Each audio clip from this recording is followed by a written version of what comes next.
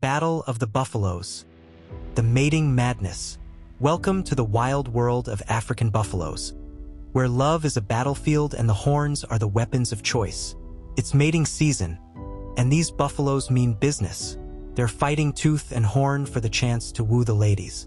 But it's not just about looking tough.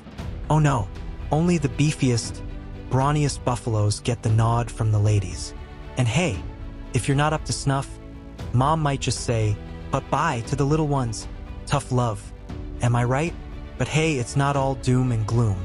These buffaloes are tough cookies, balancing the mating game with dodging lions and crocs like it's no big deal. And through it all, they stick together, forming strong bonds and facing the savannah's challenges head-on. So there you have it, folks. The wild, wacky world of African buffalo romance. Who said love was easy?